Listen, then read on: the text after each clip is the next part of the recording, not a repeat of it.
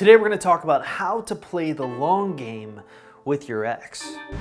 Now, what I've always found kind of interesting about this long game versus short game mentality is the fact that when you're dealing with a breakup and trying to repair your relationship, understanding how to play the long game is going to be essential to your success. I've said this many times on the YouTube channel, but the average success story is gonna take anywhere between three months to seven months to play out. And that's usually after the no contact rule is complete. So you need to be, or need to learn rather, to be patient if you're going to want to be successful at this process. Now, with that being said, we need to talk a little bit about what the long game is versus the short game. So what is short game versus long game? Well, simply put, anyone who employs a short game is someone who is going to implement strategies that aims for instantaneous results. Oftentimes, short game type strategies are the things that you are most interested in because they yield very quick results. Send this text message and it will make him fall over himself to beg for being back with you. The truth is, though, most of the time, short term results can happen. There are short term strategies you can use, but they are not what ultimately leads to what you really want. And that is a loving, committed relationship with someone, and it doesn't have to be your ex. You just want someone that you can fall in love with. Hopefully, have a long term, lifelong commitment. That's what you're going for. Many of you think it is your ex, and if that is the case, awesome. But short term strategies or short term solutions oftentimes aren't going to be what gets you that result. Now, let's take a look at what long term strategies are or playing the long game. Simply put, someone who plays the long game is going to implement strategies that aims for results down the road. I always kind of look at it like building a foundation on a house. Many of you know that you don't just build a house on a plot of land you need to build the foundation first so that the house has a sturdy place to sit. Well, long game strategies are essentially the foundation upon which your goal will be accomplished. You're not going to see results right away, but you know that doing this thing will lead to something good happening down the road. But what we need to also explore is how the long game impacts breakups versus relationships in general. Man, I'm not gonna lie to you, sometimes I feel like I'm getting old. so oftentimes I'll be looking for topics to talk about on this YouTube channel and I'll literally go to like Google and type something in and I'll read about a strategy that I have no clue about. I feel like ghosting and breadcrumbing are new strategies that ultimately I hadn't heard about, and I'm still getting used to those concepts. And then people are talking about this long game concept. So, what do they mean in just general relationships with long game strategies or playing the long game? Well, Think of it like this long gaming in the lexicon right now is considered something you would do with someone that you care about deeply, that you absolutely know would make a great partner just not right now. So you keep them on a hook by occasionally flirting with them or going on dates with them just to keep the option open. This is what many people consider the long game.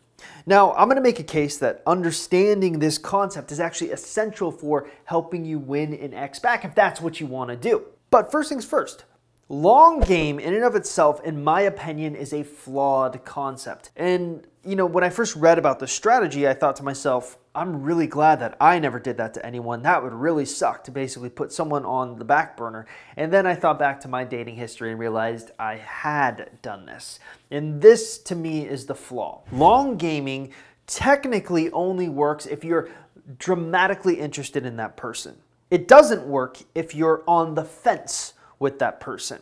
And this puts you in a very interesting position because you have been broken up with most likely by your ex. You've already had a relationship with them. So, your ex already kind of knows what to expect being in a relationship with you, as opposed to you kind of fantasizing and them putting you on a pedestal from afar and maybe kind of being into it, but maybe not kind of being into it. And this can work in your favor or even against you. It just depends on how your relationship went. And we're going to get into that in a moment. Ultimately, though, if you really think about it, playing the long game, kind of putting someone on the back burner on purpose because they might be a good candidate later down the road, is actually an essential component to actually winning your ex back. Why? Real quick, I want to say that if you're new to this YouTube channel or you're trying to figure out what you should be doing to get your ex back and you're trying to learn if you even have a chance in your specific circumstance, probably the smartest thing for you to do is actually stop by our website, www.exboyfriendrecovery.com, or take our Ex Recovery Chances quiz that can be found at exboyfriendrecovery.com. Now, if you're watching this on YouTube, taking that free quiz is super easy to do. All you have to simply do is look in the description link below this YouTube video and click on the link you see there. It will take you directly to the quiz where you can fill it out and get an easy answer on what you should be doing going forward and overall what your chances look like in your specific situation. All right, so let's get you back to the video. Okay, so I've talked a lot about attachment styles on this YouTube channel, almost ad nauseum, to the point where you're just like, Chris, shut up, I don't care, get to the content. But it really is relevant here. We know that most of our clients, most of the people watching these videos on YouTube have anxious attachment style tendencies, meaning they're the ones who will hyper obsess about the breakup. They're the ones who will go out of their way to do kind of desperate things to win the relationship back. They're the ones who lack patience, whereas their ex are the ones who are avoidant those type of people repel them. They want to run away from anxious attachment style people, and you just kind of have this really difficult sort of gap to bridge. Okay, so where does the long game come into play? Well, believe it or not, if you have an anxious attachment style, playing the long game is actually essential for you, except we're going to define it a little bit differently. Instead of putting your ex on the back burner, you are going to put your ex on the back burner because you know for a fact it will be what their attachment style is going to be attracted to. More on that in a minute. First things first, let's talk about some of the long game strategies that you can implement. So the first long game strategy that we're going to talk about is simply put the no contact rule. Basically, think of it like this. Any long game strategy is a strategy that you implement knowing that it's actually going to extend the time that it will take for you to get your ex back. The short game strategy would be to go and beg for them back right away.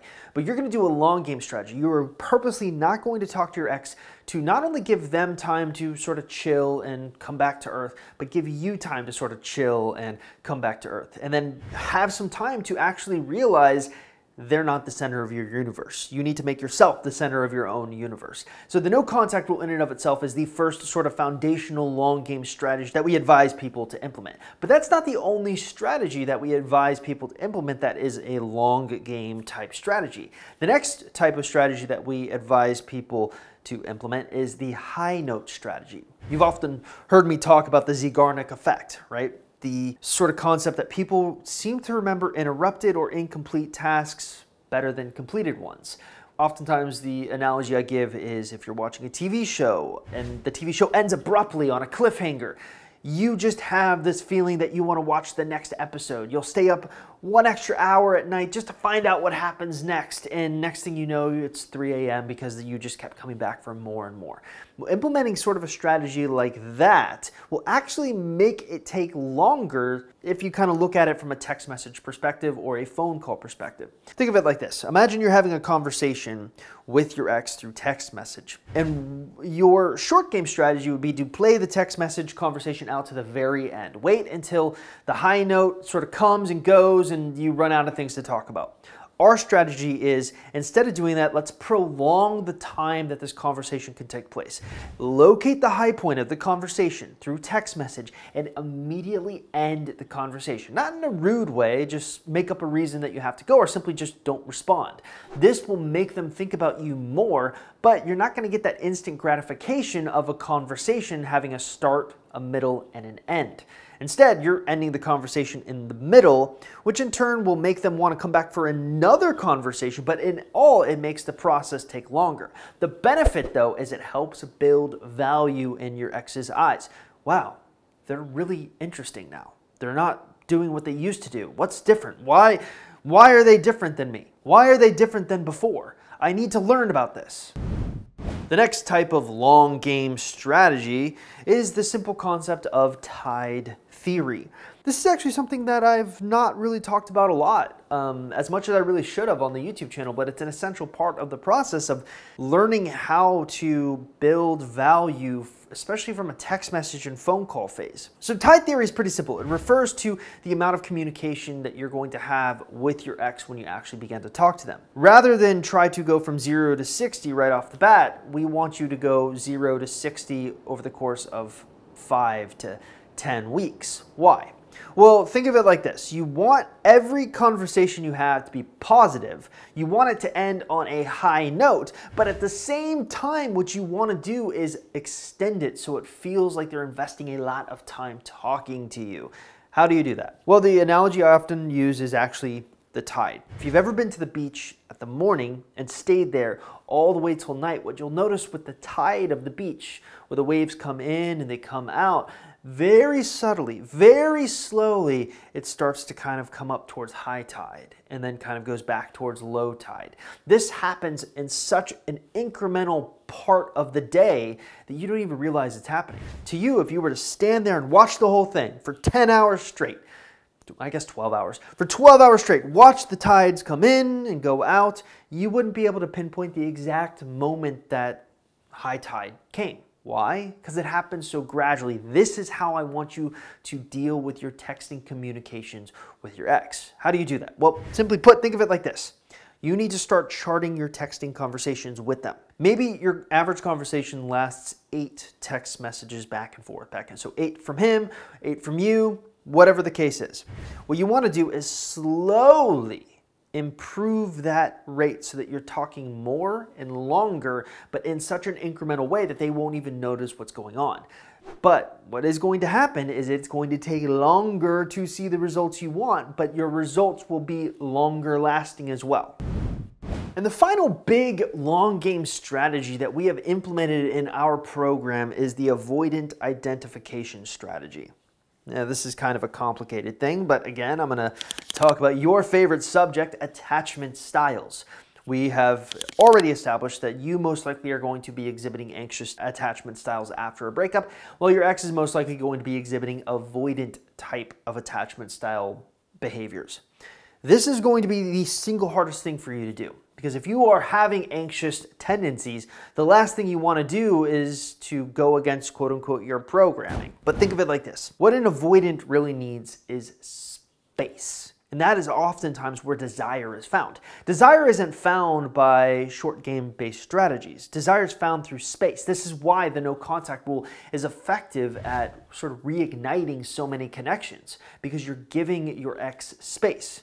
So here's the general rule of thumb. How do you give your ex space when you're in that flirting phase? Well, simply put, you need to pay attention to when they pull back. When they're going cold after they've just been hot, you go cold after you've just been hot. So the simple way of doing this is when they pull back, you pull back. And what you're gonna find happens is when they pull back, and you pull back, they're drawn back into you. And you can kind of meet them in the middle until they pull back again, and then you pull back again.